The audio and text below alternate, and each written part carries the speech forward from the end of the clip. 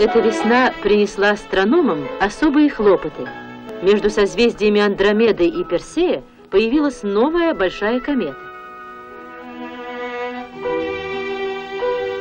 Надо сфотографировать ее движение, сделать спектрограммы.